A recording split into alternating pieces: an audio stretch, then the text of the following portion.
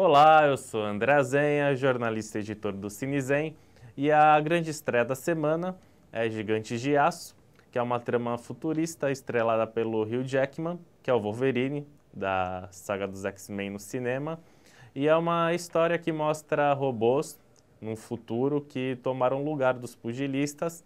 Entre os produtores do filme estão o Steven Spielberg e o Robert Zemeckis, dois pesos pesados de Hollywood, o filme fez sucesso lá nos Estados Unidos de bilheteria e tem tudo para repetir o êxito aqui no Brasil. No Cinearte, ali na Ala da Praia, perto do Canal 3, a atração dessa semana é o filme francês Esses Amores. Para saber mais e saber a programação, é só acessar www.cinearteposto4.com.br. Neste sábado, dia 22, às 8 horas da noite, a Cinemateca de Santos da sequência mostra sobre o expressionismo alemão, com a exibição do clássico Metrópolis, do Fritz Lang. A Cinemateca tem apoio cultural da Videoparadiso, www.videoparadiso.com.br. A entrada é franca. Na terça, dia 25, às 19h30, lá no Café Teatro Holiday, no terceiro piso do Teatro Municipal, o site Cinezen, o Polo de Atenção Intensiva em Saúde Mental da Baixada Santista e a Associação Projeto Tantan encerram o ciclo A Saúde Mental no Cinema. Vai ser exibido o documentário Estamira, que é uma, um filme nacional, bastante premiado.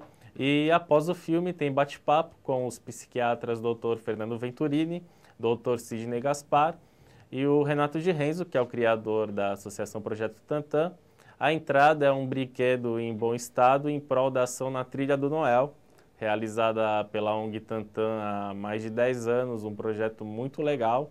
Então é a chance de ver um filme brasileiro importante que mostra uma realidade é, forte, interessante e colaborar com uma causa bonita lá da Associação Projeto Tantan. Já na quarta-feira, dia 26, às sete e meia da noite, o Cineclube Lanterna Mágica continua com o Cine Mochilão. Vai ser exibido Peixe Grande, que também é um filme muito divertido, é gratuito.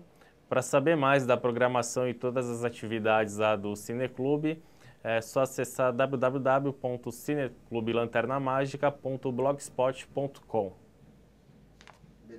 No sábado, dia 29, o Cine Rock se exibe direto do Metropolitan Opera, lá de Nova York, a ópera Don Giovanni, do Mozart.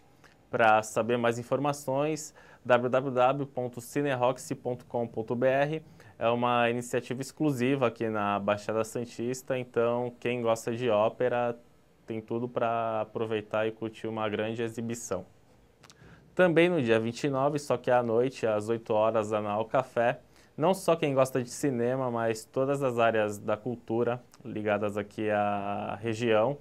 Vai acontecer um bate-papo beneficente que vai abordar a política cultural em Santos e região. É, em prol da Casa Avó Benedita, pede-se um, uma lata de mucilon ou um quilo de alimento não perecível. Vai ser ali na Alcafé, no Canal 4, esquina com a Lobo Viana. E vão participar o Ricardo Vasconcelos, que é diretor-geral do Curta Santos, o Jamir Lopes, da Secretaria de Cultura, o Theo Ruiz, que é músico e produtor cultural, o Leandro Taveira, também produtor cultural, o Marcelo Rael, que é escritor, crítico literário e também participa do Conselho de Cultura de Santos, e o escritor Marcelo Ariel, lá de Cubatão, que também é do é, vice-presidente do Conselho de Cultura lá de Cubatão e tem uma atuação bem forte. Então, quem quiser saber como está a situação da política cultural ou a falta de política cultural também, esse debate dia 29 às 8 horas da noite lá na Alcafé. A coluna de hoje fica aqui e presta uma simples e singela homenagem ao Leon Kakoff, que partiu na última sexta-feira e que teve um papel fundamental para a disseminação do cinema aqui no Brasil. Ele criou a Mostra Internacional de Cinema de São Paulo, é, a importância dele é imensurável para a sétima arte, para a cultura do nosso país.